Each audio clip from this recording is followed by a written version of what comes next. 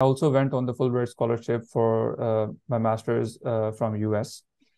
तो ये मेरा थोड़ा सा एकेडमिक बैकग्राउंड था। तो रही बात अचीविंग की तरफ़ आने की so let's let's get on to that power sector के अंदर uh, जब मैंने ज्वाइनिंग दी तो वहाँ जाकर मुझे थोड़ा अंदाज़ा हुआ कि पाकिस्तान के अंदर क्या मामला चल रहे हैं पावर एंड एनर्जी सेक्टर के अंदर और क्या चैलेंजेस हैं जिनके ऊपर काम किया जा सकता है। तो considering myself as a professional क्योंकि जब आप एक प्रोफेशनल uh, लाइफ के अंदर आ जाते हैं so all you want is you want something dense as in terms of the academic experience and something जो कि आपको एक uh, ऐसे पाथ के ऊपर चला सके जहाँ पे आप कंक्रीटली uh, कोई वैल्यू एडिशन जो है वो बैक इन द कंट्री कर सकें।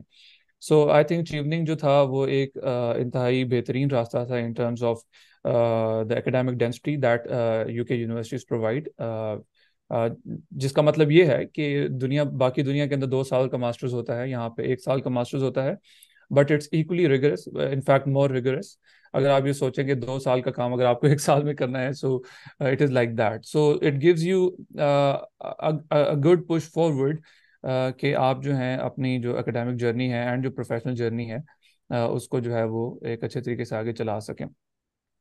तो अचीवनिंग के अंदर जब मैंने अप्लाई किया मैंने 2017 में भी अप्लाई किया था but I could not get through that session that that phase of the scholarships लेकिन उसके बाद मैंने बहुत कुछ सीखा अपनी एकेडमिक्स से अपनी प्रोफेशनल लाइफ से उसके अलावा भी uh, इस तरह इसी तरह के सेशंस uh, मैंने भी अटेंड किए uh, जिससे मैं बहुत कुछ सीखने को मिला और फिर मैंने uh, अभी रिसेंटली जो हमारा बैच जो अभी आ रहा है इनफैक्ट कुछ लोग आ चुके हैं कुछ आ रहे हैं So I applied for 2023 and 2024 and finally I got into uh, the program.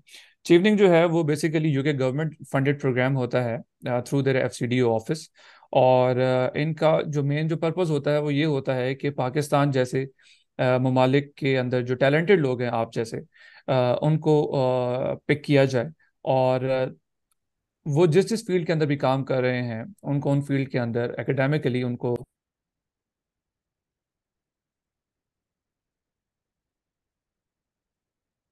Sorry Aneek भाई, आप म्यूट हो गए एक दफ़ा, अगर आप अनम्यूट करके सॉरी आवाज़ आ रही है मेरी? जी तो हम बात कर रहे थे कि यूके गवर्नमेंट का जो प्रोग्राम जो है, वो ये है कि पाकिस्तान के अंदर जो टैलेंटेड लोग हैं, वो जिन जिन फील्ड्स के अंदर भी काम कर रहे हैं, चाहे वो सोशल साइंसेज हैं नेचुरल साइंसेज हैं, या इंजीनियरिंग साइंसेज हैं तो इन लोगों को जो है पिक एंड चूज़ किया जाए based on their talents and their skills और उनको यूके यूनिवर्सिटी से उनको तालीम दी जाए और Pakistan like like after your studies आप, आपसे ये तो की जाएगी कि आप पाकिस्तान वापस आएँ और अपनी कंट्री को सर्व करें और वैल्यू एडिशन करें। तो इसके लिए एक बेहतरीन रास्ता जो है I will share the website जो वेबसाइट है मैं वाहिद के साथ शेयर कर दूँगा he will share it with you so there is this website it's called Dev Tracker ये डेव ट्रैकर जो है dot F C D O dot government dot U K ये जो वेबसाइट है ये वेबसाइट आपकी कंट्री के अंदर पाकिस्तान है जो भी कंट्री है इसके अंदर यूके गवर्नमेंट से रिलेटेड जो यूके गवर्नमेंट जो आपकी कंट्री के अंदर जो प्रोजेक्ट्स रन कर रही है इन तमाम प्रोजेक्ट्स की लिस्ट जो है वहाँ पे मौजूद होगी। In fact not just the list बल्कि आपके पास इन प्रोजेक्ट्स की प्रोग्रेस को ट्रैक करने का भी वहाँ पे आपके पास मौका मिलता है। सो so, सबसे बेहतरीन तरीका तो यही है कि आप इस वेबसाइट को विज़िट करें और इस वेबसाइट के अंदर आप कोशिश करें अगर आपकी फ़ील्ड से रिलेटेड कोई प्रोजेक्ट यूके गवर्नमेंट का चल रहा है सो ट्राई ये करें कि अपनी एप्लीकेशन में अपनी जो कैरियर प्लान्स हैं या जो अपने स्टडी प्लान्स हैं उसको आप रिलेट करें विद द प्रोजेक्ट जो यूके गवर्नमेंट ऑलरेडी पाकिस्तान के अंदर कर रही है या कर चुकी है या करने का प्लान कर रही है। सो so, एक तो लिंक आप यहाँ से डेवलप कर सकते हैं। इसके अलावा ये है कि हमारे जो चिवनिंग स्कॉलरशिप है इसके अंदर चार एसेज होते हैं जिसके अंदर लीडरशिप स्किल्स नेटवर्किंग स्किल्स आपका जो स्टडी इन यूके एंड आपका करियर प्लान जो है ये चार एसेस जो हैं ये इंतहाई अहमियत के हामिल होते हैं। आपकी प्राइमरीली सिलेक्शन जो है वो आपके एन के बेसिस पे होती है। एनएसएस की जो वर्ड लिमिट होती है इंतहाई लिमिटेड होती है apparently when I consider myself तो मेरे लिए थोड़ा सा मुश्किल होता है चीज़ों को कंसाइजली लिखना और 500 वर्ड्स के अंदर uh, एक बड़ी सी कहानी को लिखना थोड़ा मुश्किल होता है। बट इस प्रोसेस से जब आप तीन चार पाँच तक गुजरते हैं जब अपने एसेस लिखते हैं उनको रिव्यू करवाते हैं अपने दोस्तों से या जो लोग ऑलरेडी स्कॉलरशिप पे जा चुके हैं या इसका एक्सपीरियंस रखते हैं सो आहिस्ता आहिस्ता आप उसको जो है कंसाइज uh, कर देते हैं और like let it gets easier to put it into the word limit but it it it it requires some exercise some uh, drill to go through those, those essays. तो वाहिद भाई ये एक एक short सा एक इंट्रोडक्शन इंट्रोडक्टरी स्टार्ट था। आ, रही बात एसेस की चारों एसेस की तो अगर आप कहते हैं तो मैं उन पर अभी भी बात कर लेता हूँ नहीं तो अगर we can we can do that in the question answer session as well thank you so much Anik भाई let's let's come to that later on अभी ये करते हैं कि मेरे ख्याल में शुएब भाई से भी थोड़ा सुनते हैं। उसके बाद then I will come to you each of you individually और फिर हम मज़ीद इन डेप्थ बात कर सकते हैं एस एस के बारे में। तो शुएब भाई प्लीज़ आप इट्स uh, जस्ट uh, हमें बता दें कि आपका क्या बैकग्राउंड रहा है and how did you get into Chevening and so on आप अपने आप को अनम्यूट करके अगर आप स्टार्ट करें तो थैंक यू बहुत शुक्रिया वाहिद। थैंक यू यार फॉर इस सेशन के लिए और बहुत ही मज़ेदार हो रहा है सारा और सारे जितने भी लोग हैं। Wish them best of luck शुरू में ही, क्योंकि ज़ाहिर है एक प्रोसेस से गुजरना पड़ता है, आपको फिर रिफाइनमेंट आती जाती है तो कुछ कुछ लोगों के लिए बहुत अक्सर ये जो मैं चीज़ देखता आ रहा होता हूँ कि शेपनिंग ये करते हैं कि बस एक बार अप्लाई करें तो हो जाए तो ऐसी बात नहीं होती, इसके लिए आपने हमेशा स्ट्रगल में रहना होता है। चले तो आ, मेरा एक शॉर्ट सा इंट्रोडक्शन ये कि शुएब मेरा ताल्लुक जो है हुंजा गिलगित पाकिस्तान से आ, फिर आ, मेरा जो प्रोफेशनल बैकग्राउंड है वो बेसिकली आर्किटेक्चर है और स्पेशलाइजेशन जो है बिल्डिंग हेरिटेज में। नेशनल कॉलेज ऑफ़ आर्ट्स से मैंने अंडर ग्रेड किया था। Then I work with Khan culture service Pakistan for तकरीबन कोई आठ साल तक साढ़े आठ साल तक। फिर उसके बाद ख्याल आया कि यार कुछ कर, किया जाए। तो शिफ्टिंग के लिए अप्लाई किया। फ़र्स्ट अटेम्प्ट में मेरा नहीं हुआ था। लाइक इट वाज इन 2020 हाँ।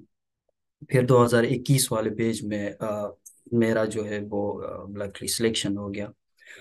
इसमें बहुत सारी चीज़ें अनिक ने बहुत डिटेल में आपको बता दी है। मैं सिर्फ़ कुछ बेसिक चीज़ों पे बताऊँगा कि मतलब how do I see Chevening compare to other scholarships कुछ दिन पहले भी ग्रुप में कोई सवाल कर रहा था कि अबाउट कि क्या दो साल ज़रूरी है शेवनिंग के लिए एक्सपीरियंस तो ये कि दो साल जो हैं शेवनिंग के लिए बहुत लाजमी होते हैं मतलब उनकी एक बेसिक रिक्वायरमेंट्स में। शेवनिंग को अगर मैं कंपेयर करूँ विद दूसरे जितने भी स्कॉलरशिप्स हैं तो मेरा ख्याल है शेवनिंग जो है, ज़्यादातर उसमें प्रायोरिटी उन लोगों को दी जाती है जो जिन्होंने अपने प्रोफेशन में कोई उनकी आउटस्टैंडिंग अचीवमेंट रही है। यानी आउटस्टैंडिंग अचीवमेंट से मुराद आप, आपका जो भी करियर है प्रोफेशन उसमें आप जो जो भी कंट्रीब्यूशन करते हैं, उससे सोशल इम्पेक्ट कितना आ रहा है?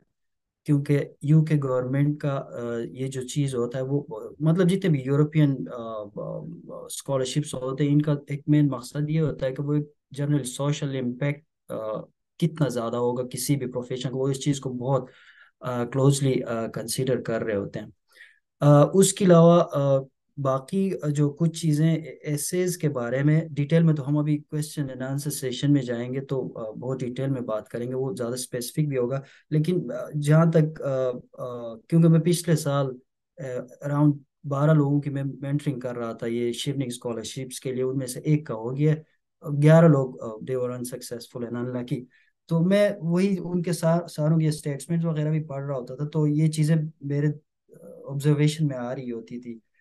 एक तो ये कि शिवनिंग जो है उसमें बहुत ही ज़्यादा आपने बस टू द पॉइंट रहना है। ज़्यादातर मतलब मैं ये कहूँगा कि शेक्सपियर वाली इंग्लिश इस्तेमाल ना करें तो बेहतर है। ये अमूमन हमारा बहुत ज़्यादा हो रहा होता है कि चीज़ों को बहुत ही ज़्यादा हैवी विकेबलरी यूज़ कर रहे होते हैं। क्योंकि ज़ाहिर है वो जो आपका जो स्टेटमेंट पढ़ रहा होता है, जिसने आपके स्टेटमेंट को पूरा वेरीफाई करना होता है, वो वो उसको पता होता है कि व्हाट्स योर बैकग्राउंड क्या आपका ताल्लुक कहाँ से है और ये वो सारा। इवन वो वो लोग भी इस तरह की इंग्लिश इस्तेमाल नहीं कर रहे होते मेरा ख्याल है। फिर उसके अलावा ये कि answers the questions with examples यानी एक क्वान्टिफाइड वे में आपको जवाब देना चाहिए मेरा ख्याल है, क्योंकि उससे ये होता है कि उनको क्लियर हो जाता है कि ओवरऑल जो है आपने जो आपकी जो अचीवमेंट है वो बिल्कुल ही उनके सामने क्लियर आ रही होती है। और उसके अलावा जो है बस टू द पॉइंट आपको आ, बात करनी चाहिए अपने पूरे एसेज में। और फिर जनरली जो एक एसेज का एक स्ट्रक्चर होता है इसका भी ख्याल रखें कि जब आप क्वेश्चंस को आंसर्स करें तो उसके ऊपर एक इंट्रोडक्टरी एक स्टेटमेंट हो आई मीन एक इंट्रोडक्टरी एक सेक्शन हो उसके बाद नीचे main body and finally concluding remarks no ताकि ओवरऑल उसका पूरा स्ट्रक्चर बने। और वो 500 वर्ड्स में होना बहुत लाजमी है। वर्ड काउंट ये सारी चीज़ें बाहर तो हमें ये लगता है कि शायद इतनी इम्पोर्टेंट नहीं होगी बट यहाँ के कल्चर में ये बहुत ही ज़्यादा इम्पोर्टेंट है और इसका ये बहुत ही ख्याल रखते हैं। मेरा ख्याल इतना काफ़ी होगा वाहिद फिर उसके बाद डिटेल में स्पेसिफिकली हम उनको वो करते हैं। ठीक है शुएब भाई thank you so much introductory remarks के लिए। Uh, मेरे ख्याल में अब थोड़ा इन डेप्थ हम um, एक दफ़ा फिर मैं आप लोगों से राय ले लेता हूँ then we'll open it up for question and answers आपने मेरे ख्याल में शुएब भाई वैसे आपने जनरल uh, जो चीज़ें थी uh, वो तो आपने बता दिए हैं तो Anik I would request you as well कि आप भी मतलब जनरल हमें बता दें कि जो एसेज होते हैं उनका क्या मकसद होता है आपके हिसाब से जब आपने लिखा था किन चीज़ों को आपने सामने रखते हुए जो है ना उनके रिस्पॉन्स दिए थे तो उससे जो है ना हमारे जो जो लोग अप्लाई कर रहे हैं उनको बड़ा फ़ायदा होगा। अनीक प्लीज़ जी ज़रूर।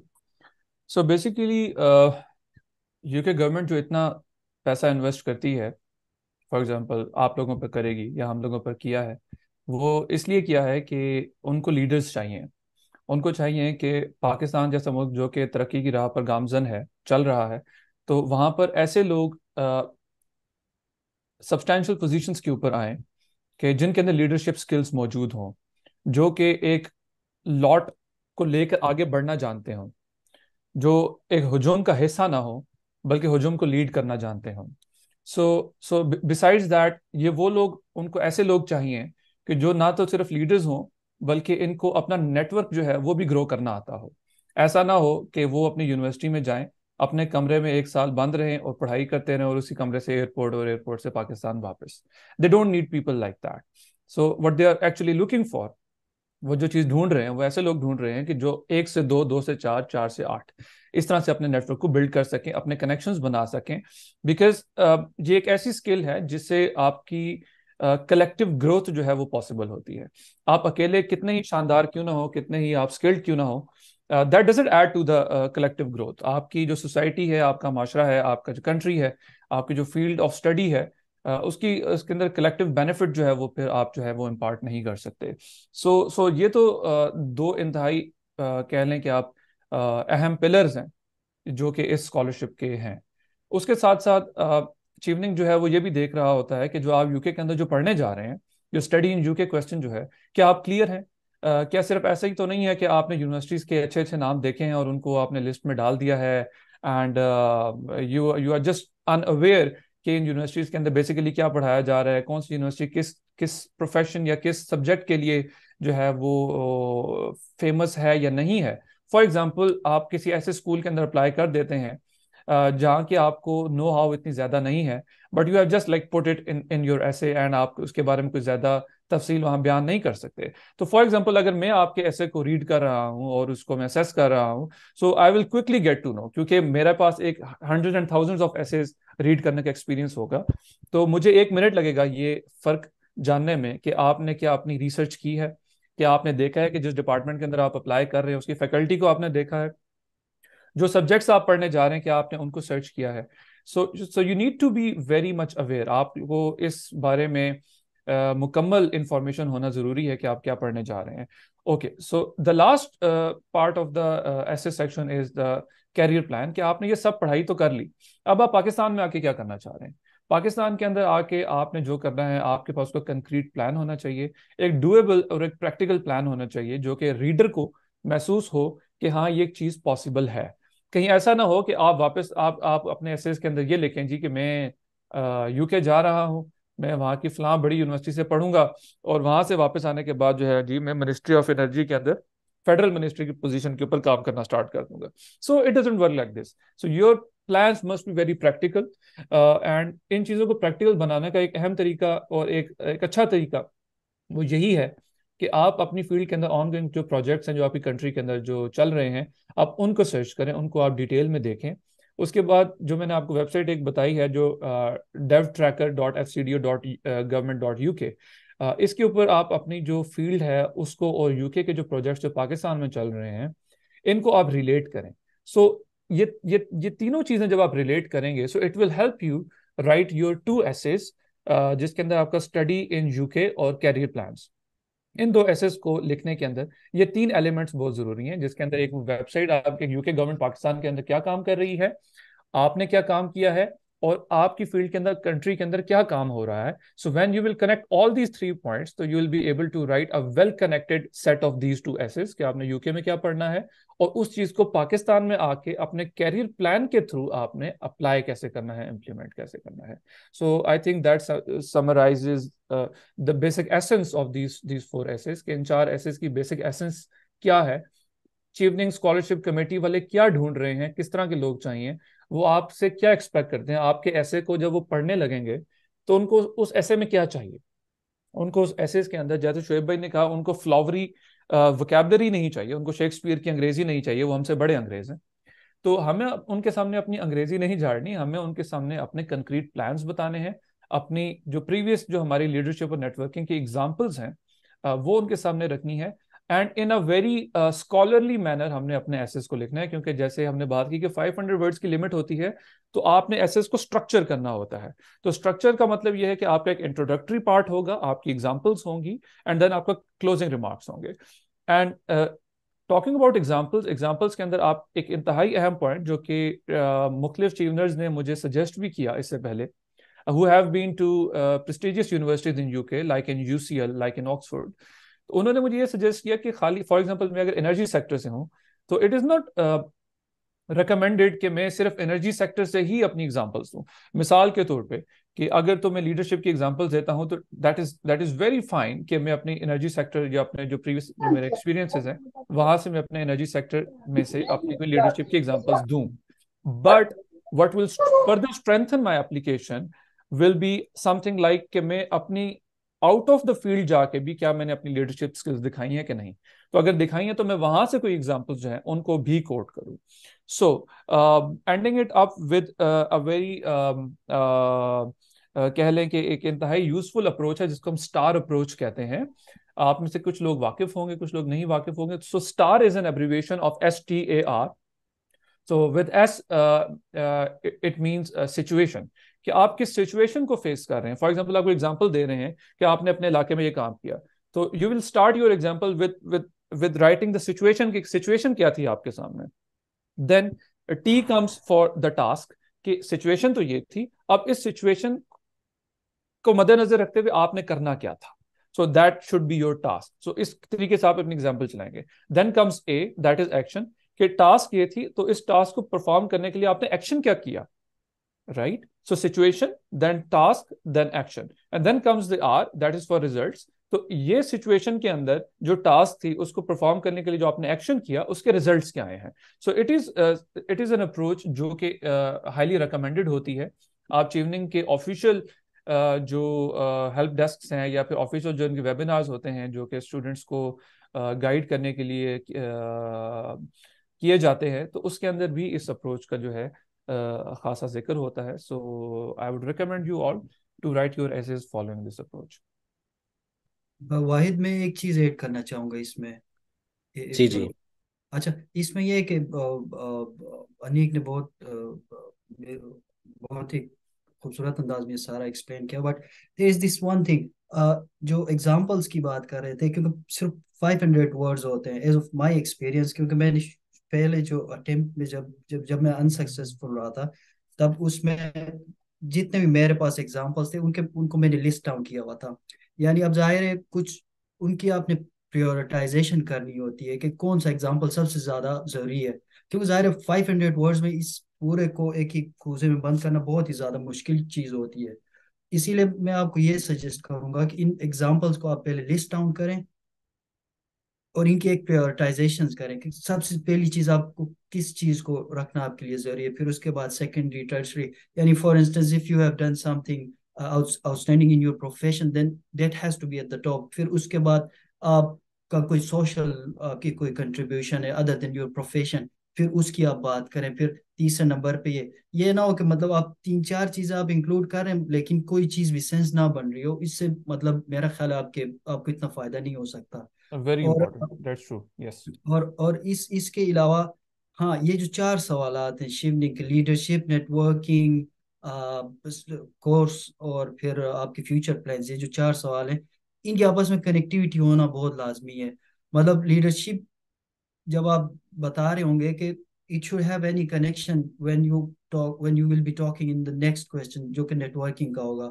फिर इसी तरह आपका जो कोर्स रिलेटेड होगा, यानी इन सबको कनेक्ट करना बहुत लाजमी होगा आपको। और इसके लिए बहुत इजी एक्सरसाइज यही है कि चीज़ें लिस्ट डाउन करते रहें जब भी आपको दिमाग में आती हैं। और ये मेरा, मेरे हिसाब से कि इन सवाल, सवालात के आंसर्स मतलब आप एक हफ़्ते में नहीं लिख सकते।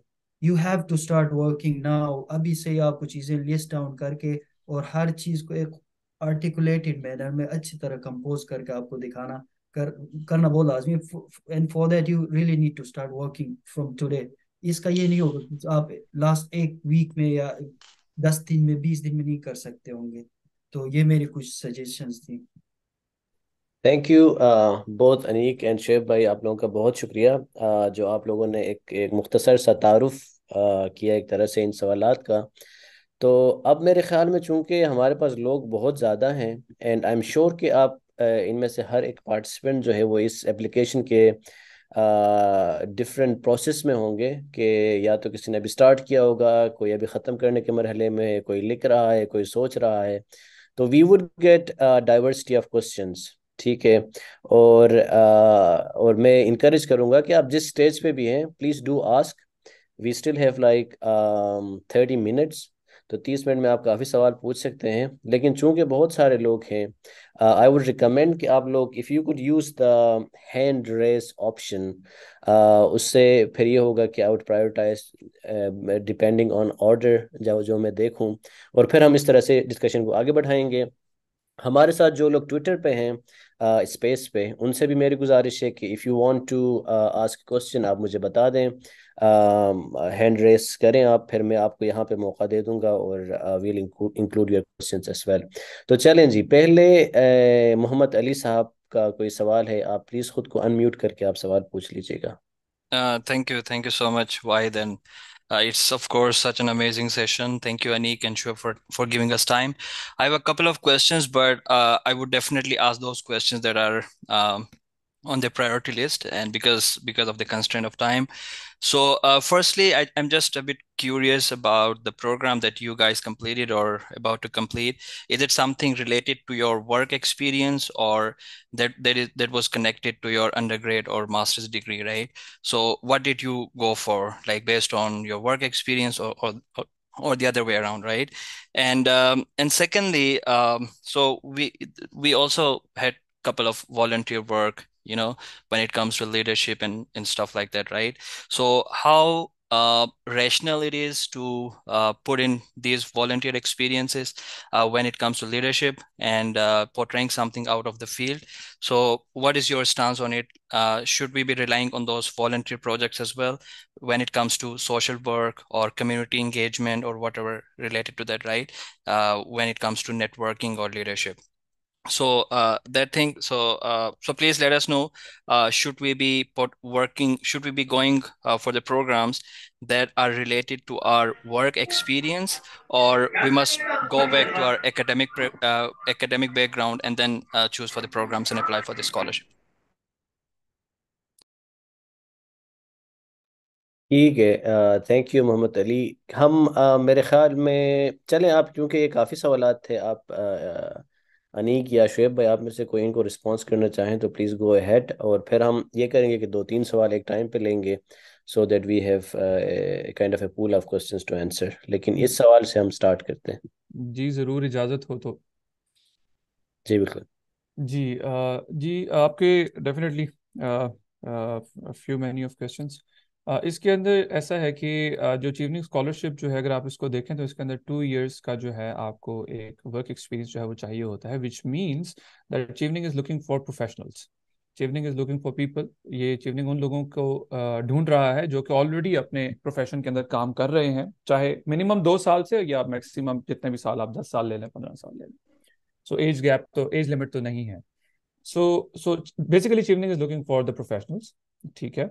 और उनको वो लोग चाहिए जिन्होंने इससे पहले अपनी फ़ील्ड के अंदर काम किया हो प्रेफरेबली uh, बट uh, जैसे आपने ज़िक्र किया कि आपके वॉल्टियर एक्सपीरियंसेस uh, होते हैं एंड एंड अदर एक्सपीरियंसेस जो कि you can not really count as professional experience apparently Chevening जो है वो इस चीज़ की इजाज़त देता है कि आप उन वर्क आवर्स को जो है इंक्लूड uh, कर सकते हैं। बट uh, मैं आपको अपने पर्सनल एक्सपीरियंस से एक बात बताता चलूँ कि 2017 के अंदर जब मैंने अप्लाई किया था तो मेरे पास भी प्राइमरीली जो वर्क एक्सपीरियंस था वो इन्हीं एक्टिविटीज़ का था जो वॉल्टियर एक्टिविटीज़ होती हैं या नॉन प्रोफेशनल uh, जो इंगेजमेंट्स होती हैं हमारी इन सोसाइटी और इन एनी सच एक्टिविटी तो मैंने भी उन्हीं पर रिलाई किया था प्राइमरीली और uh, उन्हीं को मैंने अपने वर्क एक्सपीरियंस के तौर पे वहाँ पे ऐड किया था। But I am not saying कि I was not selected primarily because of that ज़रूरी नहीं है और भी फैक्टर्स होंगे।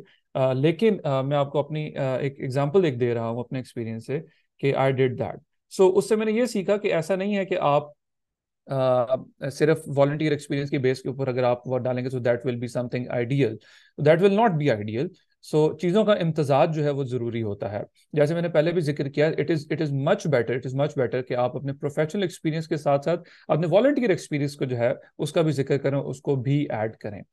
So I I hope that that answer for the question रही बात uh, मेरे अपने प्रोग्राम uh, की और मेरे प्रीवियस एक्सपीरियंसेस की so basically I am an electrical engineer and uh, इससे पहले भी uh, मैंने हायर uh, एजुकेशन का मैं पार्ट रहा हूँ और uh, अभी चीवनिंग पे आने से पहले I was working in the power sector of Pakistan और बेसिकली uh, uh, जो अभी uh, जो मास्टर्स प्रोग्राम के ऊपर अभी जो मैं आया हूँ so this masters program revolves around what I was basically doing back in Pakistan so it is basically connected और जैसे शोएब भाई ने भी बात की कि आपने अपनी तमाम जो एसेज हैं, उनको कनेक्टेड रखना है। चाहे वो आपका कैरियर प्लान हो, चाहे वो आपकी लीडरशिप स्किल हो, चाहे वो नेटवर्किंग स्किल्स हो, चाहे वो आपकी स्टडी इन द यूके हो।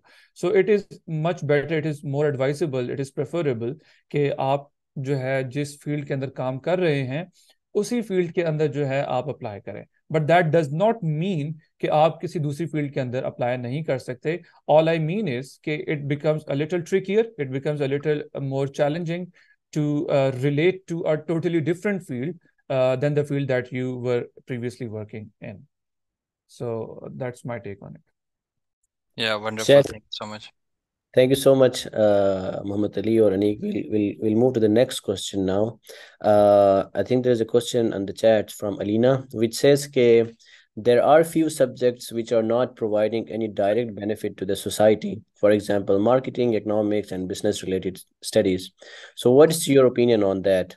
Will uh, you know people who are studying these subjects, would they be able to get in?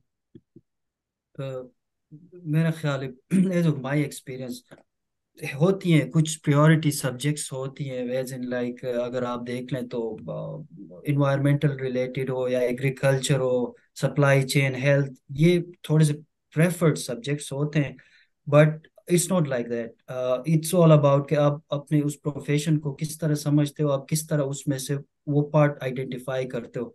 अगर मैं अपनी मिसाल ले लूँ तो art and architecture it's it's kind of kind of luxurious profession uh, आप कह सकते हैं कि अगर डेवलपिंग uh, कंट्रीज़ में इन पे इतना ज़्यादा वो नहीं होता ना कि ये इतने ज़्यादा बेनिफिट करते हैं। तो हाँ इसमें फिर ये था कि मेरा जो स्पेशलाइजेशन था वो बिल्डिंग कंजर्वेशन में था। तो मैंने उस पूरे को इस तरह शेप किया हुआ था उस पूरे को सनारियो मैंने इस तरह डेवलप किया था कि मैंने उनको ये चीज़ अंदाज़ा दिलाया था कि नहीं this is something really important यानी मैं आपको मिसाल देता हूँ फॉर इंस्टेंस मैंने उसमें बात की थी कि रिलीजियस टूरिज़्म कल्चरल टूरिज़्म की मैंने बात की थी। जब मैं अप्लाई कर रहा था उन दिनों इमरान खान भी इस पर बहुत काम कर रहे थे कि पाकिस्तान में जितने भी हिस्टोरिक साइट्स हैं मतलब हिंदू कम्युनिटी के बहुत ज़्यादा साइट्स है सिख कम्युनिटी के हैं बुद्धिज़्म के हैं तो उन साइट्स पे वो काम चल रहा था उन्हीं दिनों। तो मैं इन चीज़ों को भी अंदर लेकर आया था अपने एसेज में। मैंने कहा था कि मतलब ये अगर इसको लॉन्ग टर्म अगर इस पर इन्वेस्ट करें तो it could be a big industry like tourism industry specifically religious tourism को ये बड़ा फ़ायदा दे सकती है। और इसके लिए बहुत ज़रूरी है कि हम इन बिल्डिंग्स को बचाएँ और इन बिल्डिंग्स को बचाने के लिए मुझ जैसे लोगों की ज़रूरत है। तो मैंने इस तरह हर चीज़ को कनेक्ट करके अपनी इंपॉर्टेंस मैंने हाईलाइट की हुई थी।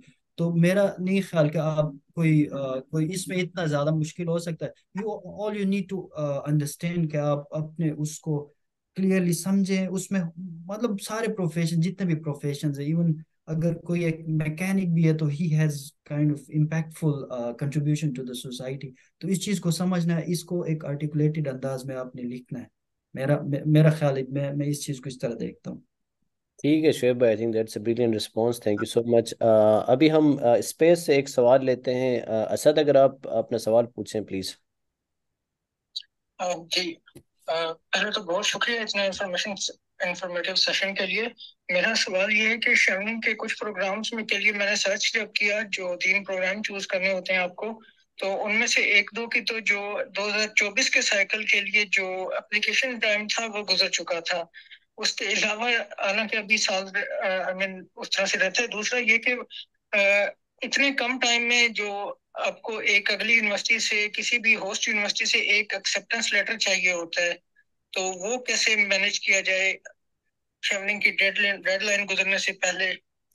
ठीक है ठीक है असद भाई बहुत शुक्रिया। ये काफ़ी कॉमन सवाल है आ, जो कि और लोग भी पूछते हैं बेसिकली यूनिवर्सिटीज़ का कि universities let's let's do it more generally कि यूनिवर्सिटीज़ कब अप्लाई करना होता है कब आपने एडमिशन लेना होता है यूनिवर्सिटीज़ में और कितने यूनिवर्सिटीज़ में एडमिशन होना चाहिए और कब आप जाके जो है ना यूनिवर्सिटी एडमिशन आपको सबमिट करना है as a in a way like as a proof कि आपका एडमिशन हुआ है। ये प्रोसेस इनकी डेड वो क्या होती है? टाइम लाइन क्या होती है? और और how do you approach this universities का जो आई थिंक फिफ्टींथ अगस्त जो होता है, इनका कि by then you have to show them at least you you should have like एक यूनिवर्सिटी में आपका एडमिशन होना बहुत लाजमी it should you should have an unconditional offer from at least one university fifteen August है I think I am not pretty sure ये सारी details आपको इंटरनेट पे भी, वो सारे उनके वेबसाइट पे आपको सारी चीज़ें डिटेल में नज़र आएँगी बट ये सारा आपको चाहिए होता है in second part once you are selected for the interview क्योंकि फ़र्स्ट पार्ट में आपकी इंटरव्यू तक सिलेक्शन बहुत लाजमी होती है। उसमें ज़ाहिर है जितने भी हम क्वेश्चन की बात कर रहे थे, ये इनका करना बहुत लाजमी है।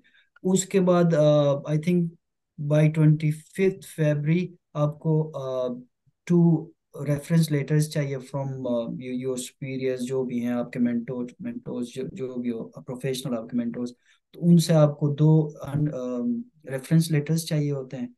उसके बाद मेरा ख्याल है कि जब आप once you you are shortlisted for for the interviews तो मेरा ख्याल है आपको मार्च अप्रैल में शुरू करना चाहिए।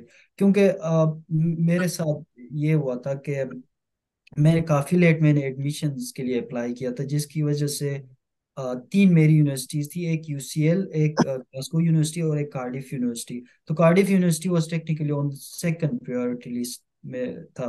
तो यूसीएल में मेरा यही हुआ था कि वो तकरीबन एक महीने बाद मुझे एडमिशन ऑफ़र उन्होंने की। तब तक मुझे बाय फिफ्टीन अगस्त सितंबर तक उन्होंने मुझे uh, कुछ इस तरह का कुछ हुआ था। आई डोंट एग्जैक्टली रिमेम्बर के तो इसीलिए मैं मैं तो आपको ये सजेस्ट करूँगा कि बस जैसे ही आफ्टर मार्च टू ऑनवर्ड्स आपको यूनिवर्सिटीज के लिए अप्लाई करना बहुत लाजमी होता है। कुछ यूनिवर्सिटीज बहुत जल्दी अपना वो सारा दे देती हैं। कुछ यूनिवर्सिटीज लाइक अगर यूसीएल की बात करें आ, उनका बहुत वो बहुत तकरीबन they take around two months सारा प्रोसेस करने के लिए। ठीक है भाई आई वुड रिक्वेस्ट अनीक कि आप भी इस पे बात करें क्योंकि आपने रिसेंटली अप्लाई किया है ये टाइमलाइन आपके दिमाग में ज़्यादा फ्रेश होगा। जी बिल्कुल। आ, ऐसा है कि आ, जैसे भाई ने बोला है कि जब हमारा इंटरव्यू स्टेज आता है तो उस वक्त हमारे पास एक फाइनल जो है एक ऑफ़र लेटर किसी एटलीस्ट एक यूनिवर्सिटी का जो है वो होना ज़रूरी होता है। अच्छा अब ये डेफिनेटली एक ये एक बड़ा मसला है कि यूनिवर्सिटी डेडलाइन और अचीवनिंग डेडलाइन जो है ये मैच नहीं कर रही होती बट ये दोनों प्रोसेस जो है वो पैरेलल में चल रहे होते हैं। तो उसके अंदर एक दो चीज़ें जो हैं वो हम जहन में रख सकते हैं। एक ये कि फॉर एग्जांपल अगर आप आपको पहली बात जो आपको थोड़ा सा प्रोएक्टिव होना पड़ेगा आपको देखना पड़ेगा आपकी यूनिवर्सिटी जिनमें आप इंटरेस्टेड हैं जिन प्रोग्राम में आप इंटरेस्टेड हैं क्योंकि मोस्टली यही होता है कि डिफरेंट प्रोग्राम्स की डिफरेंट डेडलाइंस होती हैं। सो so, अगर आपको लग रहा है कि आपकी प्रोग्राम की डेडलाइन जो है वो जो है गुजरने वाली है तो उसमें ये आप कर लें कि आप अप्लाई कर दें try to secure the admission और अगर आपको लगता है कि जी आपका एडमिशन हो गया है लेकिन अभी आपकी स्कॉलरशिप नेक्स्ट टर्म से शुरू होगी फॉर एग्जांपल आपका सेमेस्टर शुरू होने वाला है और बट आपकी स्कॉलरशिप नहीं है आपकी स्कॉलरशिप का रिज़ल्ट जो है वो तब आएगा जब उनका सेकंड सेमेस्टर शुरू हो रहा होगा। सो so, उसके लिए you can do is you can request the university कि आपके एडमिशन को डिफर कर दें और साथ आप उनको ये बता दें कि जी हमने स्कॉलरशिप के लिए अप्लाई किया हुआ है and that is my that will be my source of funding so this this is this is one way to secure an admission when it comes to contradictory deadlines ठीक हो गया जी। Secondly uh, ये है कि uh, Shoaib साहब ने इसको बेसिकली समराइज कर दिया है कि आपने थोड़ा सा चीज़ों को प्रोएक्टिवली देखना होता है। बाज़ात आपकी यूनिवर्सिटीज़ ऐसा भी होता है like when many of you will apply तो आप ये देखेंगे क्योंकि हमारे कई लोगों के साथ ऐसे हुआ कि जब आप अप्लाई करते हैं तो आप जिस प्रोग्राम में अप्लाई करते हैं तो even after getting admission into that program university उस प्रोग्राम को कॉल ऑफ़ कर देती है। सो so, इस तरह के किसी भी केस के अंदर चीवनिंग इज़ वेरी हेल्पफुल अगर आप उनको ईमेल करें और आप उनको अपनी सारी सिचुएशन बताएँ तो they let you pick up a new program in a new university as well तो इसमें ऐसी कोई uh, बात नहीं है। These people are very reliable when it comes to situations like these और uh, आप उनसे कम्युनिकेट करके uh, अपने मैटर को जो है रिजॉल्व कर सकते हैं। ऐसा नहीं कोई हार्ड एंड फास्ट चीज़ नहीं है।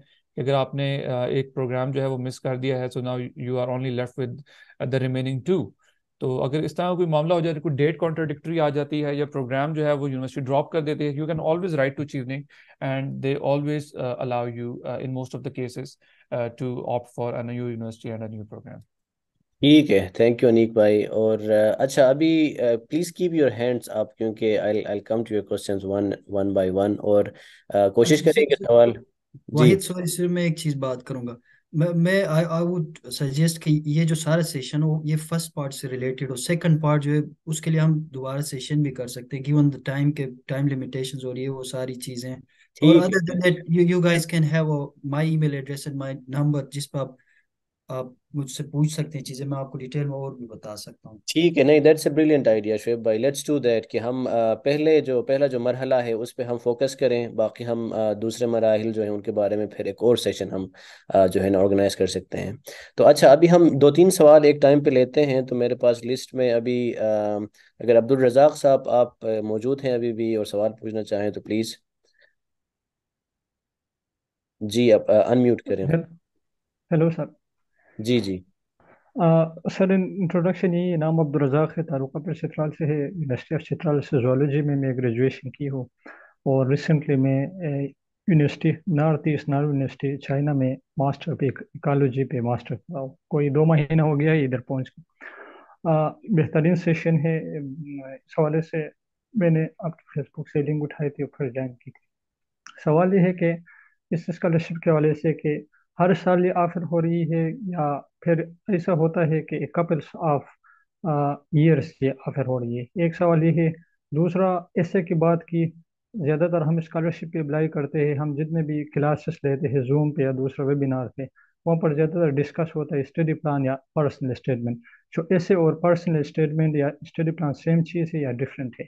तीसरा सवाल यही है कि बहुत से दोस्त रब्ता कर रहे हैं कि हम यूके जा रहे हैं इटली जा रहे हैं, दूसरा फ्रांस जा रहे हैं। एजेंट हमसे पैसे लेकर कोई उनतीस तीस लाख हमें बेच रहे होते हैं। मैं उनको यही कहता हूँ कि ये धोखाबाजी हो सकती है एजेंट की। इटली या यूके में बेचना बहुत मुश्किल है। तो इस हवाले से जितने भी हमारे सेशन में हमारे मेंटर्स हैं, उनको ज़्यादातर मालूम होगा कि एजेंट्स के थ्रू जो लोग अप्लाई कर रहे हैं कि इसमें हकीकत है कि नहीं, या हमारे नौजवान अपने पैसे नुकसान में डालकर उनके हवाले करते हैं ठीक है अब्दुलरजाक भाई बहुत शुक्रिया इसका जवाब मैं ही दे देता हूँ आपको ताकि हम आगे बढ़ सकें। आ, वो एक अलग कहानी कि हम एजेंट्स के थ्रू फॉरेन स्कॉलरशिप में कैसे अप्लाई कर सकते हैं और उस पर हम सेशंस भी रखेंगे। लेकिन आ, ये जो स्कॉलरशिप है स्पेसिफिकली ये हर साल होता है और इसके लिए एजेंट के थ्रू आप अप्लाई भी नहीं कर सकते।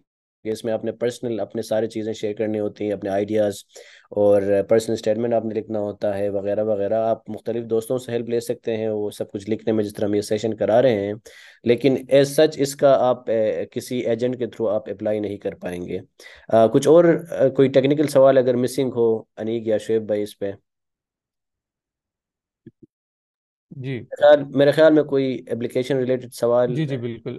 ये पूछ रहे थे कि जो हमारा जो स्टडी प्लान है और पर्सनल स्टेटमेंट जो है ये दो डिफरेंट चीज़ें हैं कि नहीं? So I would just like to clarify कि चीवनिंग स्कॉलरशिप के अंदर पर्सनल स्टेटमेंट के नाम से कोई ऐसे नहीं होता। uh, सिर्फ़ इसमें चार एसेज होते हैं।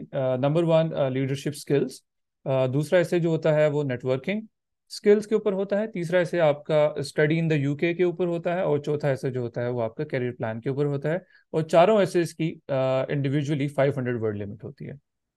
ठीक है ठीक है। अनीक भाई बहुत शुक्रिया आपका। अच्छा अभी एक सवाल मेरे पास चैट में आया है फिर पहले मैं वो पूछता हूँ फिर महरोज की तरफ़ जाएँगे। सवाल ये है कि कुछ लोगों के पास ऐसा कहें कि दे हैव मल्टीपल थिंग्स जिनके बारे में वो आ, लिख सकते हैं या फिर उन लोगों ने मुख्तलिफ़ फील्ड्स में एक्सेल किया है, एक से ज़्यादा फील्ड्स में। तो वो फिर किस तरह से प्रायोरिटाइज करें कि किसी एक फ़ील्ड के बारे में लिखें या वो सबको टच करें? क्या क्या उसका प्रोसीजर होगा? एक तो ये सवाल है, ये अपने पास नोट कर लें। Mahrosh if you could unmute yourself और आप अगर अपना सवाल पूछें प्लीज़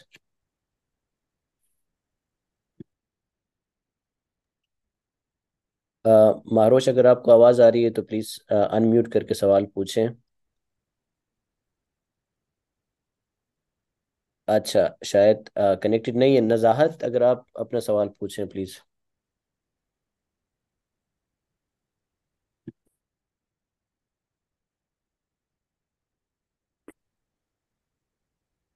अस्सलाम वालेकुम everyone thank you so much for this amazing session मेरी आवाज़ आ रही है सबको?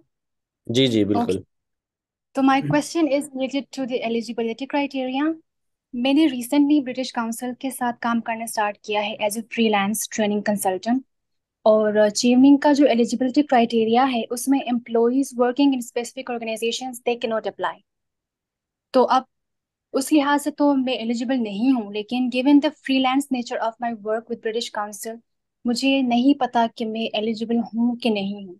So if anybody could please comment on that it would be grateful thank you I don't have any idea about this मेरा ख्याल है आपको बेहतर ये होगा कि you should write to Chevening Pakistan वो आपको इससे रिलेटेड आपको सही डिटेल में बता देंगे। क्योंकि मैं कुछ अपने से कुछ बता दूँगा, ये ना होगा आप मिस गाइड हो।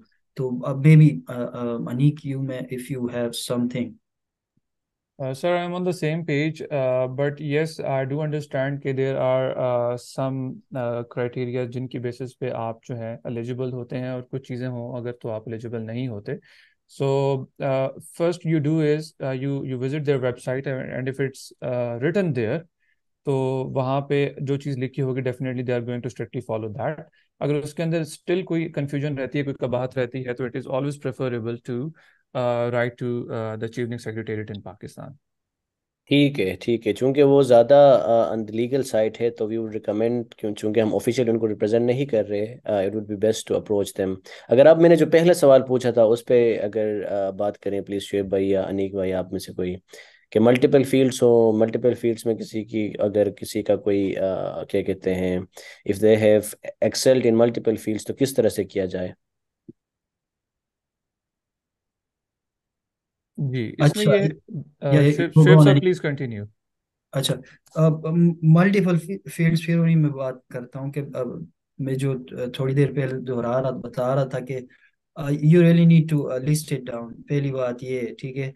मेरे उसमें भी यही हो रहा था कि जब मैं फ़र्स्ट अटेम्प्ट मेरा जब था शिपनिंग के लिए तो एक तो मेरा प्रोफेशनल जो था जो जितनी भी मेरी ओवरऑल कंट्रीब्यूशन वगैरह थी और प्रोफेशनल जो बैकग्राउंड काम वगैरह जो मैंने किया होता, एक तो वो चीज़ें मैंने हाईलाइट की थी। अदर दिन दैट जो सोशल वर्क जो आ खान नेटवर्क के थ्रू जो जितना भी हम कर रहे होते हैं उन, उनसे रिलेटेड भी काफ़ी चीज़ें थी तो मैंने उनको भी इंक्लूड किया हुआ था तो थ्रू आउट जब मैंने ये सारी चीज़ें, उसकी एक एनालिसिस की तो मुझे यही चीज़ लगा कि शायद एक चीज़ दूसरी चीज़ को नेगेट कर रहा है क्योंकि मैं फोकस एम्फेसाइज नहीं कर पा रहा था।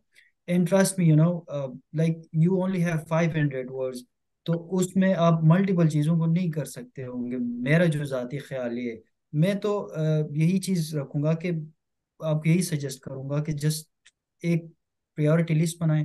पहले कुछ चीज़ें आप उनको जिन पे ज़्यादा आप फोकस कर सकती हैं, जिनको आपको लगता है कि इनमें आपकी सबसे ज़्यादा outstanding achievements in your professional career या या even even in your social sector में जितना भी आप काम करते रहे हो। तो इन चीज़ों को इस तरह आप पहले उनका एक लिस्ट डाउन करके सारी चीज़ें करें तो ये बहुत ज़्यादा हेल्प आउट हो सकता है मेरा ख्याल है। Aneeq if you have something more ji sure मेरा तो ये मानना है, बिल्कुल ऐसा ही है कि एक तो वर्ड लिमिट को भी देखना होगा, लेकिन मेरा साथ साथ ये भी मानना है कि whatever serve the purpose अगर मिसाल के तौर पे आप किसी प्रोजेक्ट ए के ऊपर काम करना चाह रहे हैं, वापस पाकिस्तान आके और it would be better to to to relate your previous experiences in the similar manner या अगर मैं आपको कह लूँ कि फॉर एग्जांपल अगर आप बिल्डिंग हेरिटेज के ऊपर पाकिस्तान के अंदर काम कर रहे हैं एंड आप आगे पढ़ना भी बिल्डिंग हेरिटेज के अंदर चाह रहे हैं so it is much better to talk about your work experience in the building heritage instead of some volunteer experience और बिकॉज़ आपके पास जो वर्ड लिमिट जो होती है, जो वर्ड स्पेस जो होती है, वो इंतहाई प्रेशियस होती है, इंतहाई इंपॉर्टेंट होती है so you do not want to waste even a single word uh, irrelevantly right so so जितना रेलिवेंट कंटेंट आप लिख सकें जितना चीज़ों को कनेक्ट कर सकें करें। एंड uh, अगेन uh, इस चीज़ का भी ज़रूर ख्याल रखें कि uh, चीज़ों के अंदर वैरायटी भी अगर हो तो अच्छी बात है। मिसाल के तौर पर जैसे मैंने पहले भी ज़िक्र किया कि मैंने अपने एनर्जी सेक्टर से दो मिसालें दी अपने एक ऐसे के अंदर। Like I give two examples in my leadership skills ऐसे from my uh, professional experience. And then I gave a, a very small uh, example from uh, something that was not professional, but from uh, the usual uh, uh, day life. So so, चीज़ों के इम्तजाज भी एक अच्छी चीज़ है एक कैची चीज़ है like it gives you it gives the reader an impression कि this person is coming from from from a point जहाँ पे चीज़ों को डाइवर्सली देख रहा है बट अगर आप ऐसे करेंगे कि आपने फॉर एग्जांपल प्रोजेक्ट ए के ऊपर काम करना है वापस आके तो आप उससे रिलेटेड दो एग्जांपल देंगे और तीसरी एग्जांपल आप इंतहाई इरेलीवेंट दे देंगे।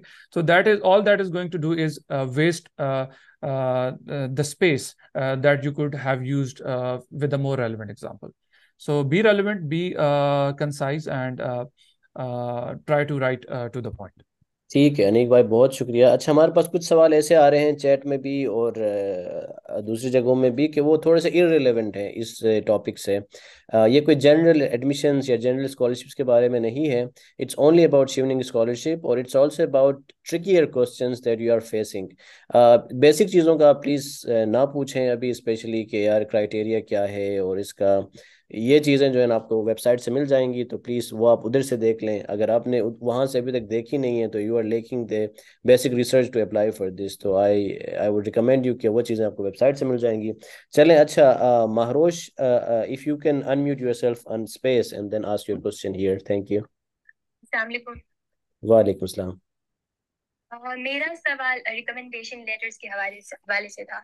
लेट्स से कि मुझे ऑलरेडी एक यूनिवर्सिटी में एडमिशन मिल चुकी है।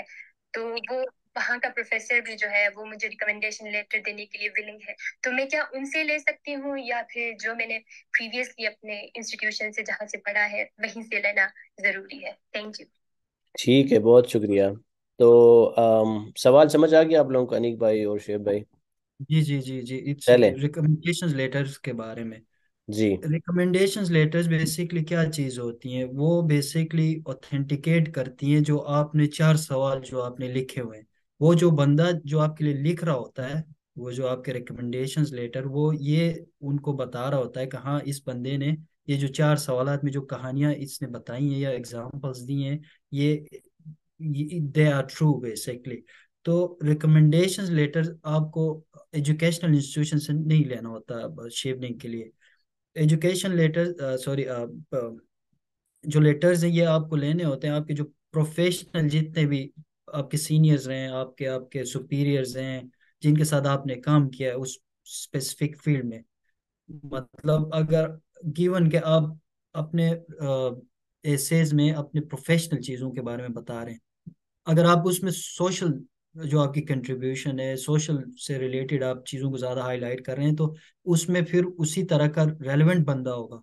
यानी बेसिकली उस बंदे ने आपके लिए वेरीफाई करनी होती है कि हाँ जी इसने ये ये काम किया इसने और ये ये सारा हुआ हुआ this is my understanding Aneeq का क्या ख्याल है चलें ठीक है मेरे ख्याल में that should be good answers the हाँ अ, अच्छा अभी कामरान साहब आप अगर अपना सवाल पूछें फिर हम चैट में जितने सवाल हैं वो एक साथ ले लेंगे। आखिरी कुछ तीन चार सवाल हम ले सकते हैं। आई नो कि बहुत सारे सवाल हैं। शुएब भाई ने अपना कॉन्टेक्ट नंबर भी दिया है इसमें तो आप उनसे वहाँ पे कांटेक्ट कर सकते हैं। जी कामरान भाई। अस्सलाम पहले तम, तमाम दोस्तों को। अच्छा मैं ज़्यादा टाइम नहीं लूँगा डायरेक्ट पॉइंट की तरफ़ आऊँगा। अच्छा मेरा सवाल जो है ना वो ये है कि ये जो फोर एसेस है और उसके अंदर जितने भी एग्जांपल्स हम कोट करेंगे और ये प्रूफ करने के लिए कि मेरे में क्या लीडरशिप क्वालिटीज है या नेटवर्किंग स्किल्स क्या है तो मेरा जो डायरेक्ट वो ये है कि आया, फ़र्ज़ करो मैं अगर थोड़ा सा अपना बैकग्राउंड बता दूँ तो सवाल की ज़्यादा समझ आएगी। मैं बेसिकली जो हूँ ना, मैं पी एम एस ऑफिसर हूँ गवर्नमेंट ऑफ़ के पी में और जो है ना, मैं यहाँ पे एडिशनल डिप्टी कमिश्नर हूँ फाटा में। तो मेरा जो एजुकेशनल बैकग्राउंड है, असल में वो इलेक्ट्रिकल इंजीनियरिंग है। मैंने यूटी लाहौर से इलेक्ट्रिकल इंजीनियरिंग की है उसके बाद जो है ना मैंने एम एस से किया है। दो साल में एटॉमिक एनर्जी में जॉब की है उसके बाद मैंने स्विच किया है पी एम एस जो है ना प्रोविंशियल मैनेजमेंट सर्विसेज़ में। तो मेरा सवाल अब ये है कि मैं जो एम एस सी परसू करना चाहता हूँ शिवनिंग में Uh, मेरा जो मेन फोकस है वो रिन्यूएबल एनर्जी पे है। मेरा काफ़ी पहले से भी इसमें शौक था कि मैं रिन्यूएबल एनर्जी में एमएससी कर लूँ। लेकिन अब जो चीज़, जो मुझे सामने आ रही है, हमारी जो ब्यूरोक्रेटिक जो स्ट्रक्चर है, उसमें हमारे पास काफ़ी मतलब डिपार्टमेंट्स होते हैं। उसमें ये है कि आप किसी भी डिपार्टमेंट में पोस्ट हो सकते हो, लेकिन एक जो स्पेसिफिक डिपार्टमेंट है, वो एनर्जी एंड पावर डिपार्टमेंट है, या फील्डो है, या प्लानिंग एंड डेवलपमेंट में।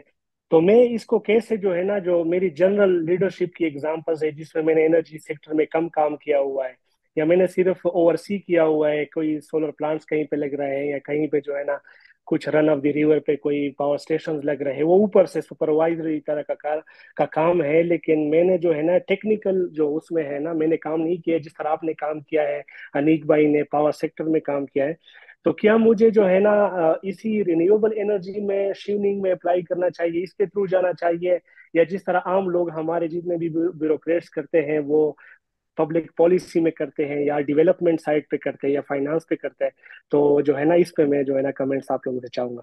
थैंक यू सो मच जी आई थिंक ये क्वेश्चन मेरे लिए है। सो कमरान साहब आई अंडरस्टैंड योर क्वेश्चन कि आप ये कहना चाह रहे हैं कि आपका जो स्टडी बैकग्राउंड है वो डिफरेंट है आपका वर्क एक्सपीरियंस जो करंट है uh, वो थोड़ा सा डिफरेंट है and what you are going to pursue what you want to pursue in renewable energy that's going again going to different तो ऐसा है कि uh, जब हम ये एसेस लिखते हैं तो फॉर एग्जांपल हमारे पास कोई एक्सपीरियंस है so we always try to maximise the value out of it तो फॉर एग्जांपल अगर आपने किसी सोलर प्लांट uh, को uh, सुपरवाइज uh, किया है या आपने in in any administrative manner अगर आपने उस चीज़ को देखा है so do try to link your engineering background to that तो आप उसमें uh, चीज़ों को कनेक्ट ज़रूर कर सकते हैं कि फॉर uh, एग्जांपल आपका इलेक्ट्रिकल इंजीनियरिंग बैकग्राउंड है और आपने उसमें मास्टर्स भी किया हुआ है and now you want to pursue your masters from you can renewable energy तो ये चीज़ ये चीज़ तो होगी ये तो आपका स्टडी प्लान हो गया और आपका प्रीवियस एकेडमिक हिस्ट्री होगी। आप जो करंट या मुझे ये नहीं पता कि आप कितने अरसे से पीएमएस के अंदर मौजूद हैं और आपका वर्क एक्सपीरियंस कितना है यहाँ पे।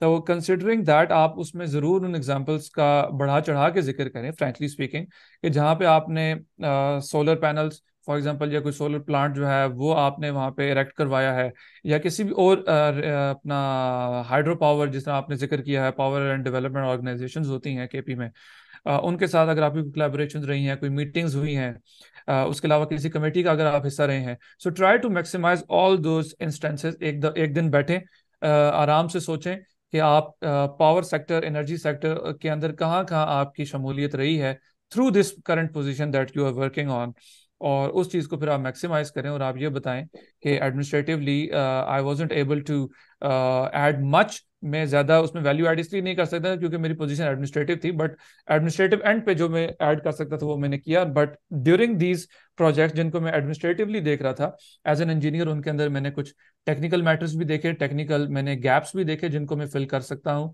और गिवन माई एक्सपर्टीज जो मेरा प्रीवियस एकेडमिक एक्सपीरियंस है आई थिंक अब मेरे पास administratively as well as technically uh, uh, मेरे पास दोनों एक्सपीरियंसेस भी हैं और मेरे पास स्किल uh, भी है कि मैं एक uh, नई स्टडी एरिया को जो है वो एक्सप्लोर कर सकूँ और वापस आके जो है वो कंट्री को फ़ायदा पहुँचा सकूँ।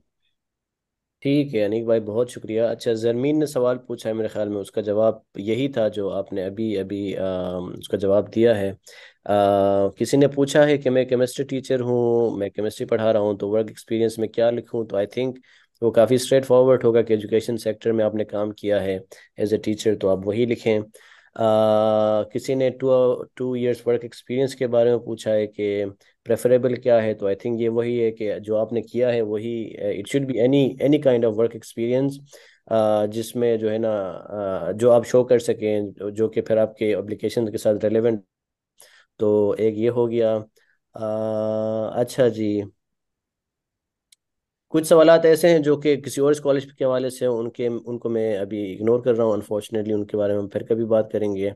अच्छा किसी ने पूछा है कि अगर किसी ने पहले से यूरोप से पढ़ा हो या यूके से पढ़ा हो फॉरेन स्कॉलरशिप्स पे स्पेशली क्या वो अप्लाई कर सकते हैं इस जी बिल्कुल कर सकते हैं। I am the setting example मैंने इससे पहले दो मास्टर्स किए हुए हैं। एक I was on the Fulbright scholarship in US then I did uh, my second master's from NUST in Pakistan. So as far as US uh, and you're uh, having already a master's degree, uh, you can apply. But UK और Ireland जो है uh, इसके हवाले से मैं कुछ concretely नहीं कह सकता कि if you have already studied from UK तो क्या आप यूके गवर्नमेंट की स्कॉलरशिप पे दोबारा पढ़ सकते हैं कि नहीं? What I personally believe is के I that that you need to check on the website क्योंकि अगेन मैं इसके ऊपर कोई कमेंट नहीं देना चाहता. Whatever I believe I think I should keep it to myself मे भी शोएब भाई जो हैं इसके ऊपर कुछ कह सकें। uh, मेरे इल्म में यूके को लेकर एज सच कोई इंफॉर्मेशन नहीं है but I studied from U S that was never a problem I did my two masters before that was never a problem as long as you can connect as long as you can give them a concrete plan you are good to go ठीक है चले मेरे ख्याल में। ठीक है अच्छा उसके अलावा हाँ सी जी पी ए वगैरह के बारे में पूछा है किसी ने कि उसका क्या रोल होता है कितना अहम होता है वो उस अगर लोगों के सी जी पी ए कम है क्या उनको अप्लाई करना चाहिए या नहीं अप्लाई करना चाहिए? भाई। इसमें I think when I was applying तब इन्होंने एग्ज़ाम कर दिया होता। स्पेसिफिकली शिवनिंग के लिए सीजीपीए पूछ रहे हैं या जी जी जी जी बिल्कुल।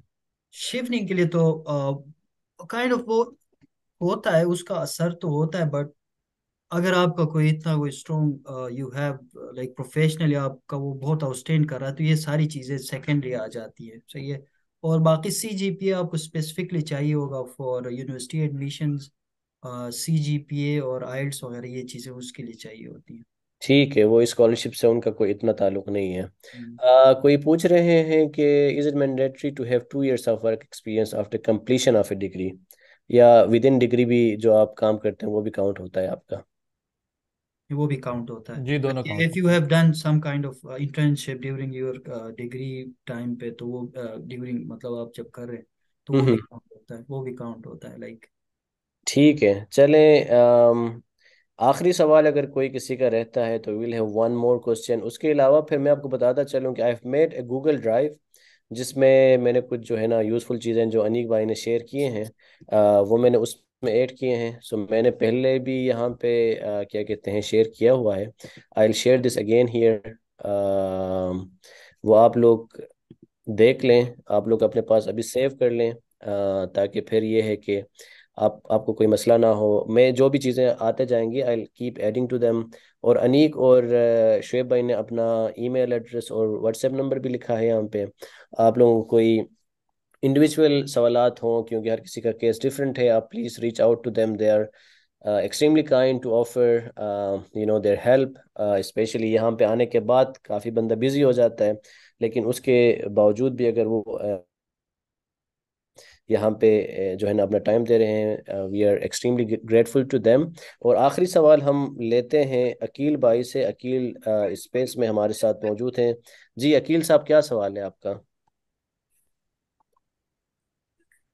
यार सवाल तो कोई नहीं है सॉरी ये गलती से मेरे ख्याल से सबमिट हो गया। अच्छा no worries no worries no worries भाई I would like to just add one comment a concluding comment जो इन तमाम एस्पिरेंट्स के लिए है जो लोग अप्लाई करना चाह रहे हैं और जो लोग यहाँ पे अभी शामिल हैं वो ये है कि अगर आप अप्लाई कर रहे हैं तो try to put in all the energy आप अपनी जितनी कोशिश कर सकते हैं जितनी मेहनत कर सकते हैं करें। अपनी जितनी रिसर्च कर सकते हैं अपने प्रोग्राम्स को लेके अपने कैरियर प्लान्स को लेके ये करें। और ऐसा नहीं होगा maybe some of you might not like it ऐसा नहीं होगा कि हम कैजुअली अप्लाई कर दें और हम सेलेक्ट हो जाएँ। So so put all in all in heart into the process and only then you can expect कि जी आपको जो है इंटरव्यू के लिए बुलाया जा सकता है। ऐसा नहीं है कि चलते फिरते हम कि चलो ये स्कॉलरशिप आई हुई है तो इसके लिए अप्लाई कर देते हैं चार एसेस लिख देते हैं तो देखी जाएगी। So if you want to really apply तो अपनी पूरी मेहनत करें हर हर एस्पेक्ट को रिसर्च करें लोगों से कनेक्ट करें और चीज़ों को जो आपके एसेस हैं उनको कनेक्ट करने की कोशिश करें। होल हार्टेडली अप्लाई करें। चलते फिरते अप्लाई करने से ये नहीं होगा तो अपना वक्त ज़ाया करने के मुतरद वो बात हो जाएगी। तो जितनी मेहनत कर सकते हैं we all are here to help you guys that is why we came here कि आप लोग अप्लाई करना चाहते हैं। लेकिन अगर अगर आप लोग सीरियस हैं तो definitely will be much more serious than you to help you तो वो कहते हैं ना आप एक कदम आएँगे तो हम दस कदम आगे आएँगे। So I think it's going to benefit you in in in that manner ठीक है बहुत शुक्रिया अनीक भाई। शुएब भाई आप क्लोजिंग रिमार्क्स आपके अगर कुछ हैं तो आप क्या कहना चाहेंगे एप्लीकेंट्स डेफिनेटली मैं अनीक ने जो बात की मैं उसको ज़रा एक्सटेंड करूँगा कि you really need to work hard you know ये एक हफ़्ते या दस दिन का काम नहीं होता you have to start working मेरी एग्जांपल ये थी कि मैं पहले अटेम्प्ट में मेरा नहीं हुआ तो for the whole one year for next whole one year तो मैं उसमें अपना पूरा इसे इसे जो था वो ट्वीक करता रहा हूँ मैं। चीज़ों को जो इरेलीवेंट मुझे लगी और मैं एग्जांपल्स देखता होता था और ये वो सारी चीज़ें तो ये बहुत लाजमी है। और ये चार ऐसे जो हैं, दी दी ज़्यादा यू नो दी ज़्यादा बेसिक्स फाउंडेशन है। अगर आपका यहाँ तक हो जाता है तो देन बहुत ही ज़्यादा चांस होता है कि you you will secure this scholarship सालाना तकरीबन पूरी दुनिया से एक डेढ़ लाख के करीब अप्लाई करता है and out of that only seventeen to eighteen hundred लोग जो है पूरी दुनिया से आते हैं। सबसे ज़्यादा इसमें पाकिस्तान और इंडिया का शेयर होता है I think forty to fifty लोग आते हैं सालाना। तो इनमें आप भी हो सकते हैं it's not a big thing you know I have seen people जो मेरे साथ थे, जो शिव नर्स पाकिस्तान के शिव नर्स और पूरी दुनिया के, हर फ़ील्ड से थे। ये कोई स्पेसिफिकली ये नहीं होता कि ये वाले फ़ील्ड ही आ सकते हैं। इट्स ऑल दैट के how do you compose your whole कहानी जो है आपकी है, जो स्टोरी है, वो इन चार सवाल में कैसे आप उसको कंपोज करते हैं। तो ये चीज़ है स्टार्ट डूइंग इट इसमें जितना ज़्यादा आप टाइम ज़ाया करेंगे और उतना ही ज़्यादा होगा। और it's it's it's not a shame के एक साल में आपका पहले अटेम्प्ट में नहीं होता, दूसरे में नहीं होते। कुछ लोग तो ऐसे थे जो पाँच पाँच साल से कर रहे थे, जो मेरे साथ शिवनर्स जो आए हुए थे। तो मतलब ये हाउ कमिटेड यू आर और प्रॉब्ली वो इंटरव्यूज़ में ऐसे सवाल पूछते भी हैं। वो यही देखना चाहते हैं कि how committed you are towards this goal और ये जो तुम आपका जो एम है। तो this is what I like to say thank you ठीक है thank you so much Shoaib भाई thank you so much Aneek आप लोगों का बहुत शुक्रिया, आप लोगों ने टाइम दिया और आप लोगों ने अपने कॉन्टैक्ट नंबर दिए, वो मैं एक ड्राइव पे भी अपलोड करूँगा ईमेल एड्रेस के साथ अगर आप लोगों को कोई सवाल हों स्पेसिफिक तो आप प्लीज़ रबता करें शुएब भाई से या अनीक भाई से. और तमाम पार्टिसिपेंट्स का बहुत शुक्रिया कि आप लोग इस सेशन में आप लोगों ने हिस्सा लिया. चित्राल एकेडमिक सर्कल की तरफ़ से हम इस तरह के मुख्तलिफ़ इवेंट्स कराते रहते हैं ऑनलाइन जो मीटिंग्स होते रहते हैं हमारे. तो नेक्स्ट हमारा कॉमनवेल्थ स्कॉलरशिप पे भी एक इवेंट है जूम पे ही वो भी एलुमनाई को हम उसमें इंक्लूड करेंगे। तो जो लोग कॉमनवेल्थ स्कॉलरशिप में अप्लाई करना चाहते हैं प्लीज़ स्टे ट्यून्ड उसके बारे में हम मज़ीद पोस्ट करेंगे फेसबुक पे और ट्विटर पे भी। तो आज के सेशन के लिए हमारे गेस्ट स्पीकर्स का बहुत शुक्रिया और जितने भी हमारे पार्टिसिपेंट्स हैं एप्लीकेंट्स हैं हमारी तरफ़ से आप आपको good luck and I hope कि ज़्यादा से ज़्यादा लोग जो हैं इसमें जो है ना कामयाब हों ताकि पा, पाकिस्तान के जो हालात हैं ऐसे हालात में ज़्यादा से ज़्यादा लोग अगर उनको एक्सपोजर मिल जाए उनको अगर जो है ना ये मौका मिल जाए तो it's it's in the favour of of our country and our people तो इसीलिए हम कोशिश कर रहे हैं कि इस तरह के प्लेटफॉर्म्स आपको मुहैया किए जाएँ जिसमें हम इन चीज़ों के बारे में बात once again thank you so much ख्याल रखिए and we will meet in the next meeting about commonwealth बहुत शुक्रिया अनिक भाई और शेब भाई जी thanks for Allah Hafiz Allah Hafiz